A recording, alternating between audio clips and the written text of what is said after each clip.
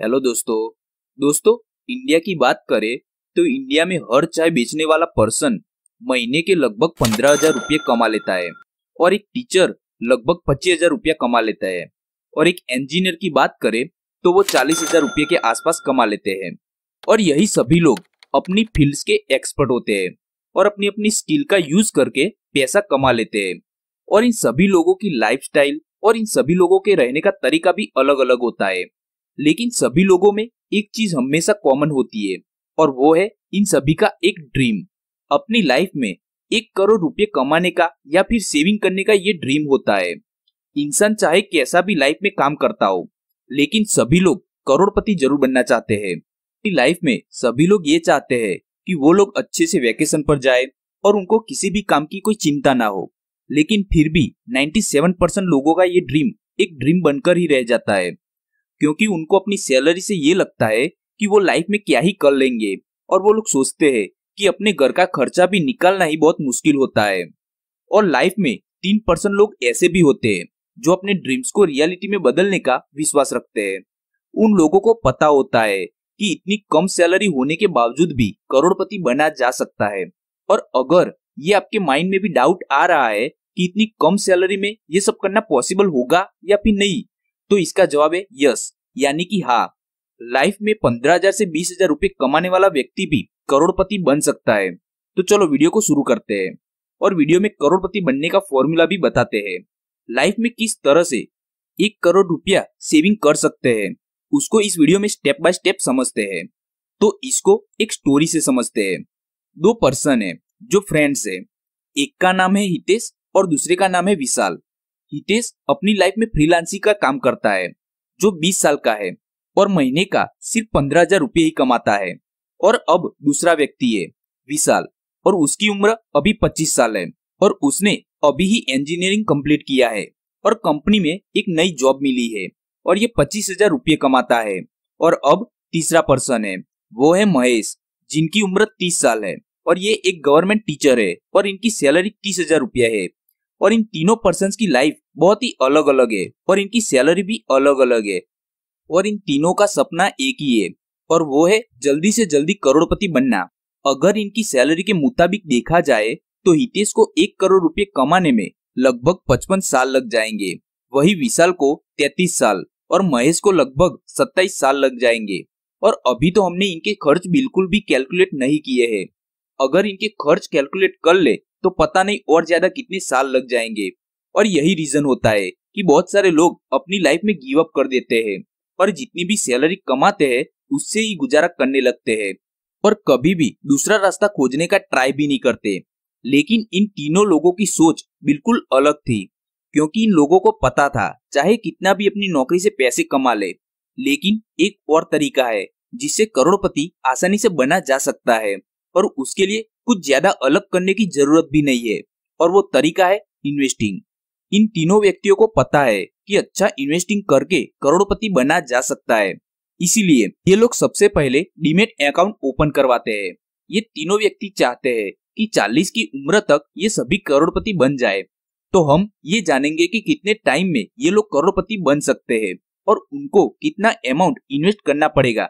तो सबसे पहले बात करते हैं हम हितेश की, जो महीने के पंद्रह हज़ार रुपये कमाता है। लेकिन जो चीज़ उसके पास है, वो है सबसे बड़ा टाइम क्योंकि उसकी उम्र अभी केवल 20 साल है और वो महीने के पाँच हज़ार, यानी कि 33 परसेंट को अच्छे से इंडेक्स फंड में इन्वेस्ट करने लगता है। क्योंकि हितेश अभी 20 साल का है और उसके खर्च भी कम है। इसीलिए वो महीने के लगभग पाँच हज़ार रुपये आसानी से सेविंग कर लेता है। अब हर महीने वो अपने पाँच हज़ार इन्वेस्ट करता ही है। साथ ही साथ वो अपनी इन्वेस्टमेंट को हर साल टेन परसेंट बढ़ाना चाहता है। मतलब कि पहले एक साल जहाँ वो पाँच हज़ार रूपए इन्वेस्ट कर रहा था। फिर उसके नेक्स्ट साल वो पाँच सौ रुपये हर साल एक्स्ट्रा सेविंग करेगा और इसी तरह वो हर साल टेन परसेंट इंक्रीज करता जाएगा, क्योंकि जैसे जैसे उसकी उम्र बढ़ेगी, उसकी इनकम भी ज़रूर बढ़ेगी। और फिर वो जब चालीस की उम्र तक वो करोड़पति बनना चाहता है तो अगले सालों में वो thirty four lakh thirty six thousand five hundred invest कर चुका होगा। और अगर 14 परसेंट रिटर्न मान के चले तो उसके हिसाब से वो 40 साल का होगा तो 40 साल बाद उसे एक करोड़ पंद्रह लाख इकसठ हज़ार चार सौ बासठ रूपए मिलेंगे। यानी कि अगले 20 साल में वो करोड़पति बन जाएगा। अब दूसरे व्यक्ति विशाल की बात करते हैं। तो विशाल की उम्र अभी 25 साल की है और उसे अभी लगभग 15 साल इन्वेस्ट करना है, क्योंकि वो भी 40 की उम्र तक एक करोड़पति इंसान बनना चाहता है। जैसे कि विशाल इतने से पाँच साल इन्वेस्टमेंट लेट शुरू करता है। तो इसीलिए उसे महीने के बारह हज़ार रूपए इन्वेस्ट करने पड़ेंगे। और वो अमाउंट उसकी इनकम का लगभग फिफ्टी परसेंट होगा।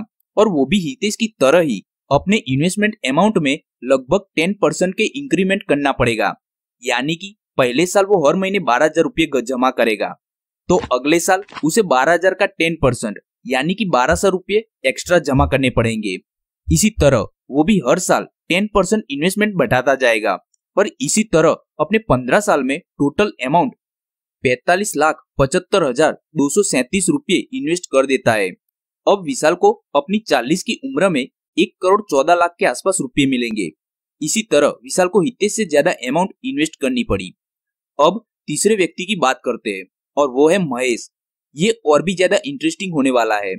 महेश, जो एक गवर्नमेंट टीचर है, और विशाल और हितेश से काफ़ी लेट इन्वेस्टमेंट शुरू करता है, क्योंकि उसका बहुत सारा टाइम अपनी पढ़ाई में ही चला गया। और उसको नौकरी भी लेट मिलती है।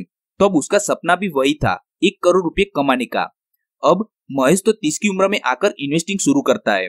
तो उसको अगले दस साल में ही उसे करोड़पति बनना है और इन दस सालों में ही उसे एक करोड़ रुपए कमाने हैं।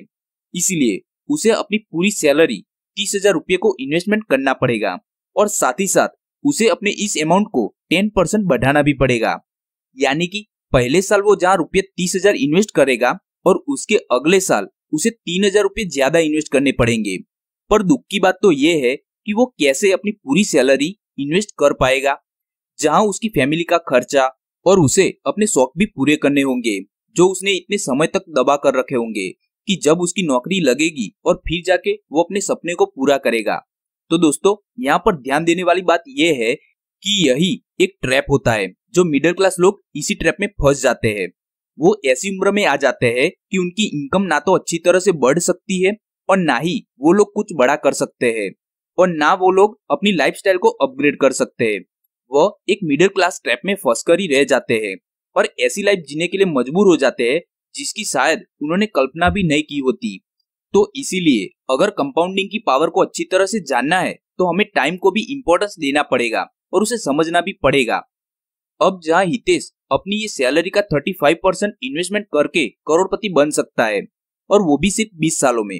और उसके पास स्किल भी ऐसी है कि आने वाले टाइम में वो अपनी सैलरी को पंद्रह हज़ार से साठ हज़ार रुपये भी कर लेगा। और जहाँ शायद उसको अपनी इनकम का 10 से 20 परसेंट ही इन्वेस्ट करना पड़ेगा। और बहुत ही जल्दी वो करोड़पति बन जाएगा। वहीं विशाल को अपनी कुछ परेशानियों का सामना करना पड़ेगा। लेकिन कुछ साल बाद वो भी करोड़पति बन ही जाएगा। लेकिन वही महेश जो लाइफ में बहुत एंजॉय भी नहीं कर पाएगा। और अगर उसको भी करोड़पति बनना है तो उसे भी अपनी इन्वेस्टमेंट को बढ़ाना पड़ेगा, जो कि पॉसिबल नहीं है। या फिर महेश को काफ़ी लंबे समय तक इन्वेस्टमेंट करना पड़ेगा। इसीलिए अगर आप भी अपने बीस की उम्र के आसपास है तो मेरा ओपिनियन यही है कि चाहे छोटी ही अमाउंट क्यों ना हो, लेकिन उस छोटी अमाउंट से भी इन्वेस्टमेंट करना शुरू कर दीजिए। इन्वेस्टमेंट स्टार्ट जल्दी करे, क्योंकि टाइम एक ऐसी चीज़ होती है जो एक बार चला गया तो फिर से लौटकर वापस नहीं आता। अब आप में से कई लोग ये सोचेंगे कि पंद्रह से बीस हज़ार की सैलरी में क्या ही होने वाला है। और ये सबसे बड़ी गलती बहुत सारे लोग करते हैं। मिडिल क्लास लोगों का ऐसा लगता है कि हमें करोड़पति बनने के लिए पहले लाखों रुपए कमाने पड़ेंगे। पर यह सच नहीं है। करोड़ रुपए कमाने के लिए जो चीज़ आपके पास होनी चाहिए, वो है पेशेंस और डेडिकेशन और ये बात भी पूरी तरह से सच है कि सैलरी से अमीर नहीं बनाया जा सकता। जब तक कि आप अपनी सैलरी को काम पर नहीं लगाओगे मतलब कि इन्वेस्टमेंट नहीं करोगे। करोड़ रुपए कमाने के लिए आपको बिज़नेस में पैसे लगाने होते हैं। और यदि आपके पास इतने पैसे नहीं है कि बिज़नेस करे तो आपको इन्वेस्टमेंट की तरह ही जाना पड़ेगा। और इन्वेस्टमेंट ही हमें एक ऐसी अपॉर्चुनिटी देती है, जिसमें छोटे से छोटे अमाउंट भी इन्वेस्टमेंट करके करोड़पति आसानी से बन सकते हैं। इस स्टोरी में अगर हितेश ये सोचता कि उसकी सैलरी केवल पंद्रह हज़ार है और इन्वेस्टमेंट शुरू ना करता तो हितेश भी अपनी लाइफ में कभी भी करोड़पति नहीं बन सकता। और जब उसकी उम्र 35 से 40 साल की हो जाती तो उसे सिर्फ़ यही ख्याल आता कि काश अपनी 20 की उम्र में ही हमने इन्वेस्टमेंट शुरू कर दी होती। तो वो 40 की उम्र तक वो आसानी से करोड़पति बन गया होता। इसीलिए यदि आपको शेयर मार्केट के बारे में इतनी नॉलेज नहीं है कि कहाँ इन्वेस्टमेंट किया जाए तो हम आपको यही सजेस्ट करेंगे कि सबसे पहले आप इंडेक्स फंड से ही शुरुआत करें, क्योंकि ये सबसे सेफेस्ट जगह है। अपने पैसों को ग्रो कर सकते हैं। क्योंकि इस तरह के इन्वेस्टमेंट में आपके पैसे हर महीने छोटी अमाउंट में इन्वेस्टमेंट कर पाएँगे और आप अपनी लाइफ को एंजॉय भी कर पाओगे। और हाँ दोस्तों, अगर नॉलेज नहीं है तो अच्छे से इन्वेस्टमेंट एडवाइजर से सलाह ज़रूर ले और अच्छा सा इन्वेस्टमेंट करें।